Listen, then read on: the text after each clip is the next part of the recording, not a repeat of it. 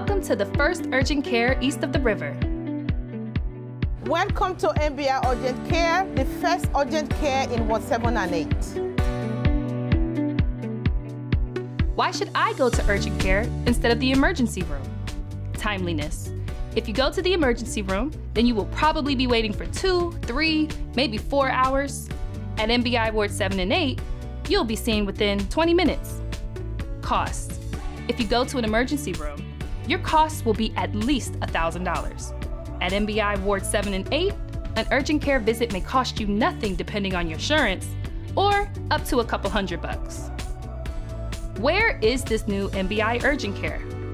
East of the river, inside of Ward 7, right across the street from the Old Strand Theater and on the corner of Nannie Helen Burroughs and Division Avenue in Northeast DC.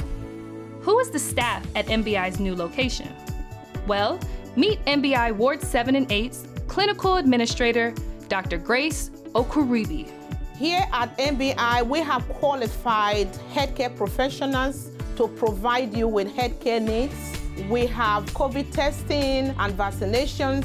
And if you are experiencing any medical conditions, such as lacerations, broken bones, sprains, and cuts, we are passionate about your services and we are here to serve you. Thank you, Dr. Okuribi. How can I help? Spread the word that MBI Ward 7 and 8 is open for all. And join us on Thursday, March 31st for our official ribbon cutting ceremony. We are family and we are here to serve.